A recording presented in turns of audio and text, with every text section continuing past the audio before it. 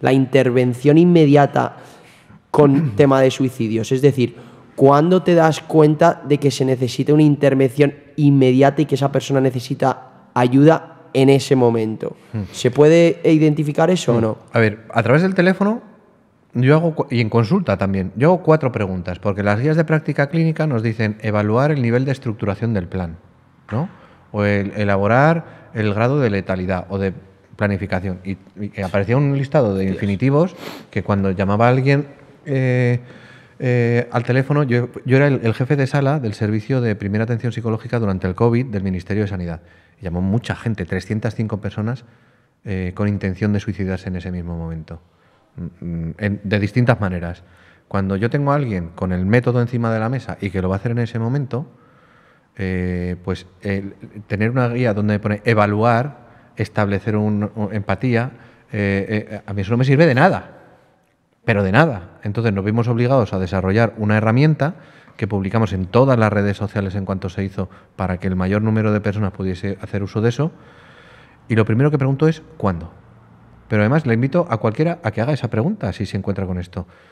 no puedo más, voy a tirar la toalla, eh, me voy a suicidar, eh, eh, pronto va a acabar todo. Lo primero que yo le pregunto a alguien es ¿cuándo tiene decidido hacerlo? Primero, esa pregunta disipa cualquier duda sobre si le creo o no. Claro que te creo. Si tú me dices que te quieres quitar la vida, te creo. Oye, ¿cuándo has pensado hacerlo? Eso es lo primero que pregunto, para saber del tiempo que dispongo para intervenir, de si es algo que está programado a largo plazo, de si hay que activar o no activar o eh, requerir la presencia de un tercero de manera urgente. ¿Cuándo? ¿Cómo? Eh, con pastillas, a las que sean. No, un sanitario sabe qué pastillas matan y cuál es la dosis que mata. Un policía tiene acceso al método. Eh, determinadas profesiones, eh, trabajadores de altura, médicos, enfermeras, dentistas, veterinarios, eh, agricultores, tienen a su alcance métodos para conseguirlo de manera inmediata. Entonces, si sabe cuándo, si sabe cómo, tiene acceso al método, si sabe dónde. Y esto tiene que ver con un periodo de rescatabilidad mayor o menor a tres horas. Y me explico. si me llama un menor, un adolescente, me dice, lo voy a hacer en mi casa con todas las pastillas, ¿Y, cuándo lo vas a hacer? Eh, cuando estén mis padres en el trabajo y existe una probabilidad de que eh, en un periodo temporal de rescatabilidad mayor o menor a tres horas, no es lo mismo que me diga un señor de 60, 70 años en, en la dehesa de Pinos que hay eh, en la dehesa de Navalcarbón a las 9 de la tarde en el mes de febrero, donde por falta de visibilidad y por lejanía de su domicilio va a ser difícil que le encuentren o le interrumpan. Van a tardar más de tres horas. Mm, vale, otra cosa. Si sabe por qué lo va a hacer, pues para reunirme con mi mujer porque me he quedado viudo, para terminar con el bullying, para... Ya me está dando una información tremendamente valiosa. Y lo otro que pregunto es si ha tomado alguna precaución para evitar ser encontrado o interrumpido, o si ha hecho algo para despedirse. Las conductas de cierre, que era lo que decía antes, son cosas que hacen las personas eh, que denotan cierta inminencia eh, cierta inmediatez en minutos, horas o días de que la persona lo va a hacer. Todos conocemos las más famosas, las notas suicidas. Papá, mamá, os quiero mucho, no lo soporto. No, hay cinco tipos de cartas de, cartas suicidas: de despedida, de acusación, de instrucciones, de petición de perdón y de justificación del propio suicidio. Y no todas son buenas, ¿eh? solo en un 30% de los casos hay nota suicida. Esa es la que conocemos más, pero existen cosas perdón, que no sabemos identificar porque nadie nos ha sabido, eh, nos ha ayudado a identificar, nadie nos ha enseñado, que denotan que la persona lo vaya a hacer. Por ejemplo, regalar objetos o prendas de cierta carga sentimental. El reloj del abuelo. Hace poco un hombre vino desde Andalucía a regalarle una cazadora a su hermana, le pidió que se la probara para ver cómo le quedaba días antes de terminar con su vida el regalar eh, objetos de cierto valor. Pues un chaval que le regala el balón de su equipo de fútbol a su compañero, eh, un colgante, el escribir WhatsApp o despedirse por las redes abiertamente. Borrar las redes también, ¿no? Borrar las redes sociales, eliminar los perfiles, comunicarlo a través de las redes, el, acusar o despedirte de los acosadores en el instituto, esto lo hago por vuestra culpa o tal, el desprenderse de, esos objetos de cierta carga sentimental, el despedirse de personas que hace tiempo que no se visita, familiares que hace mucho tiempo que no se ve, amigos que hace mucho tiempo que no se frecuenta, intentar dejar las cosas en paz. Arreglar el testamento o donar las cosas a alguna ONG. Eh, en algunas ocasiones las muestras de cariño eh, cuando no son lo normal.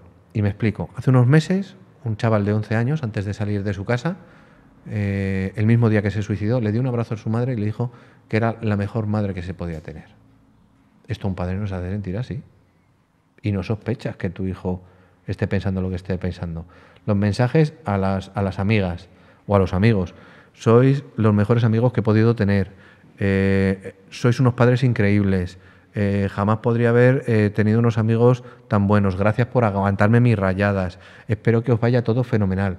Todos esos mensajes que puedan denotar un mensaje de despedida, bien sea de agradecimiento o muestras inesperadas de cariño, hemos escuchado muchísimos casos en los que minutos antes de hacerlo le han dado un, abrazo a su pareja y le ha dicho, Te quiero. eres la mejor mujer del mundo, o qué guapa estás, o mm, no podría haber tenido una mujer mejor, o no, que nos pueden hacer sentir eh, henchidos. Bien, pero... Vale, entonces, ¿cómo, está despidiendo. habría que actuar ante, ante un, un suceso así? E identificas un poco este, esta conducta de cierre, como, como lo has llamado. Entonces, ahí el procedimiento, por ejemplo, si a mí me pasa con una persona de mi entorno, ¿cuál sería? ¿Cómo debería actuar yo? Compartiendo abiertamente, oye, estoy preocupado por ti. Vale, hablando con esa persona, pero claro, esa es mi pregunta. O sea, lo conveniente ahí es hablar con esa persona o recurrir a profesionales que hablen con esa persona. Eso es. En primer momento, mostrarle tu preocupación. Vale. O sea, eh, en ir de frente no hay nada de malo. Existe el temor, y, justificado, ojo, justificado. Hay un, estudio de, entre médicos franceses que hasta un 39% no se atrevía a preguntar, oye, ¿tú estás pensando en suicidarte? Por miedo a inducir la idea. Esto es atroz.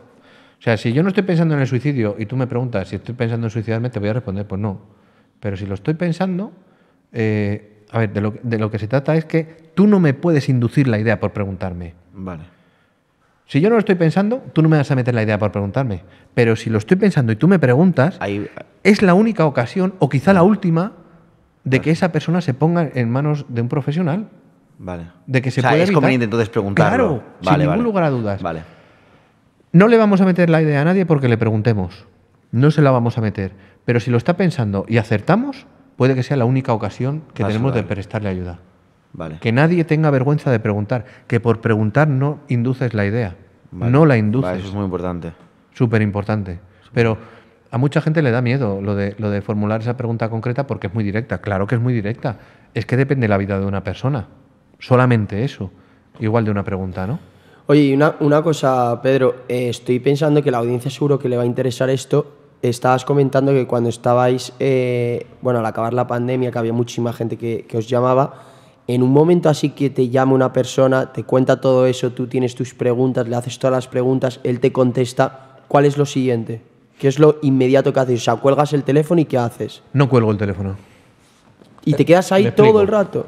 Yo estaba hasta cuatro horas por teléfono hasta que esa persona estaba en compañía de un tercero capaz de cortocircuitar el intento. ¿Qué puede ser quién?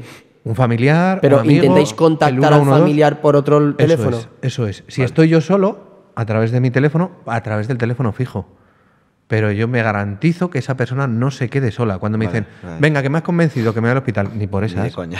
no, no, no, no. Venga, que eh, eh, espero a que venga la ambulancia. No, no, no, no, no, no.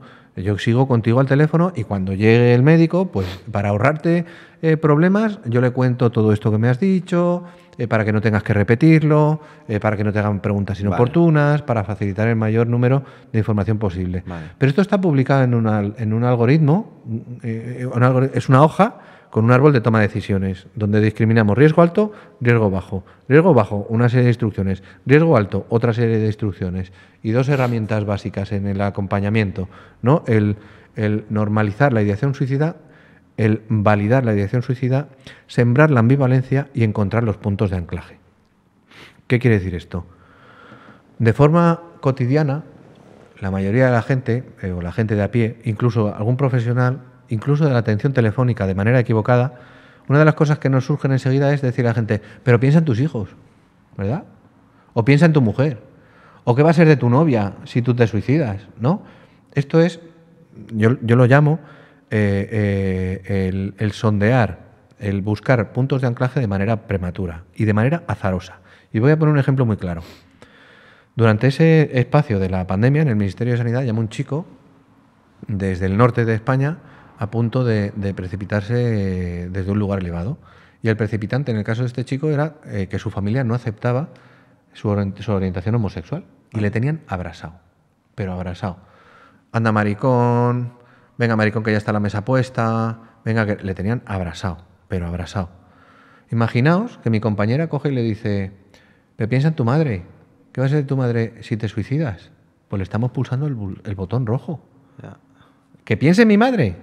Pues igual estamos provocando que siga con lo que tiene sí. pensado. O si a una mujer le dices, piensa en tu marido y resulta que hay violencia doméstica Sí. y es el precipitante. O a un marido, piensa en tu mujer y resulta que hay infidelidad.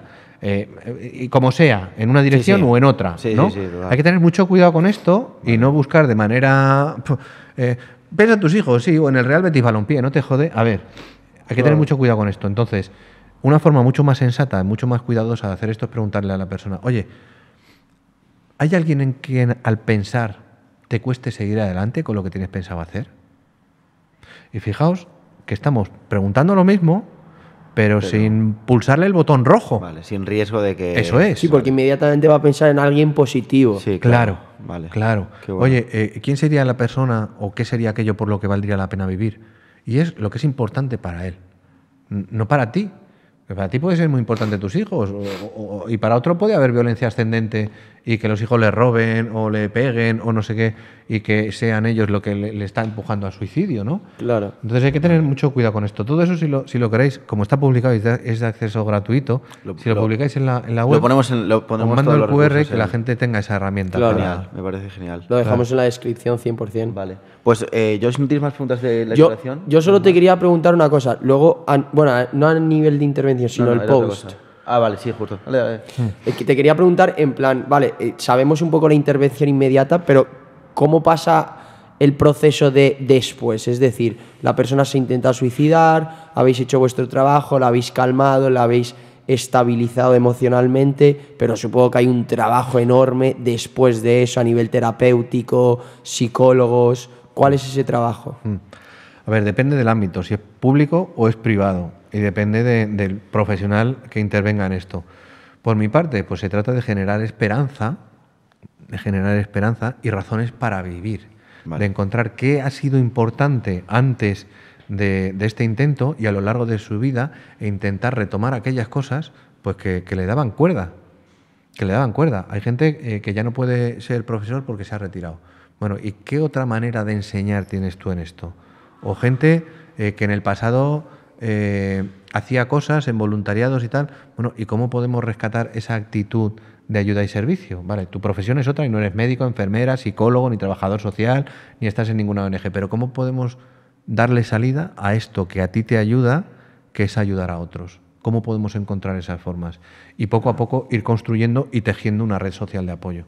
A nivel, a nivel de vida, ellos, por ejemplo, eh, siguen trabajando, hacen una vida normal. Claro, cuando se recuperan, a ver, el 85% de la gente que sobrevive a un intento grave va a fallecer por otras causas. Luego, claro que hay esperanza después de un intento, que no van a ser suicidas de por vida. Vale. No. Claro, es un problema temporal. Claro, claro. de los casos. Vale. Claro, y la gente se recupera y retoma su Y, vida. y más o menos cuáles son los procesos de recuperación. ¿Se sabe eso? Es decir, cuando un, de- desde el primer intento de suicida a vosotros decir que está totalmente en perfectas condiciones, ¿se sabe eso o es imposible de medir? Bueno, cada uno tenemos unas, unas herramientas. Cuando yo he tratado con gente en, en riesgo suicida, eh, una, una técnica, una herramienta que utilizo que, que es frívola, pero que lleva mucho detrás, ¿no? Eh, yo le pregunto al final de la, de la sesión y solo después de unas cuantas veces donde el riesgo disminuye, eh, muy significativamente, entonces doy una alta temporal. Y les pregunto al final de la sesión, oye, si cero es, no hay ningún riesgo, puedes estar absolutamente tranquilo, y 10 es el día que lo intentaste, ¿dónde estamos ahora? Cero es ni de coña, no lo voy a hacer jamás, ni se me pasa por la cabeza. Y 10 es, de esta noche no pasa, ¿dónde estamos ahora? Pues un 6, Pedro. Bueno, pues, pues es un 6. Eh, pero no te voy a engañar. Claro, es que no me tienes que engañar. Pues un 8, Pedro. Pues si es un 8, bueno, pues entonces tenemos que tener igual eh, citas semanales o cada menos tiempo, cada tres días, si a ti te parece, o, activar eh, un sistema paralelo. Y un sistema paralelo, yo sé que esto a algún compañero que me oiga mm, no le va a gustar, pero mm, yo no quiero tener la responsabilidad sobre mis hombros de que alguien se haya quitado la vida porque yo no le he atendido o porque me ha llamado y yo no lo he cogido. Entonces, las personas que yo atiendo en riesgo tienen mi teléfono las 24 horas. Me pueden llamar a cualquier, a cualquier hora del día o de la noche. Nadie, en 20 años de profesión, me ha molestado jamás a las tantas de la mañana. Nadie. ¿Me han llamado a las 4 de la mañana? Sí. Pero me han prestado la oportunidad de tender una mano amiga y llegar a tiempo para que una persona no llevara a cabo lo que tenía pensado hacer. Una, una persona lo ha hecho y se llegó a tiempo. ¿Que no duermo bien? Pues al día siguiente descansaré. Me da igual. A ver, esto lo puedo decir como mm, desde mi ámbito de trabajo, que es en una clínica privada. Claro. ¿Vale? Yo entiendo que hay instituciones donde esto no se puede hacer, pero garantizar el apoyo, que la persona sepa que te puede llamar a cualquier hora del día y que no está sola, esto ya es terapéutico per se. Y alguna ocasión algún paciente me ha dicho, es que, mira, no lo he necesitado, pero saber que estabas detrás a mí me ha ayudado a sentirme mucho más seguro y mucho más tranquilo. Entonces, después de preguntarles en tres o cuatro ocasiones, oye, y hoy de 0 a 10, ¿cómo estamos? Después de terminar la sesión, mm, ¿cómo estamos eh, en cuanto a riesgo de suicidio? Si cero es ni de coña y 10 es de esta noche no pasa, ¿dónde estamos hoy? Bueno, pues hoy un 4. Bueno, pues un 4. Y hasta que en tres ocasiones seguidas no me dicen que el riesgo es cero, No les das el alta. das. no les doy el alta. Aún así, sigo haciendo seguimiento. ¿Qué pasa, trippers? Si te ha gustado este clip, no olvides apoyar el canal, suscríbete, síguenos en las redes sociales. Y nos vemos en el siguiente trip. Nos vemos.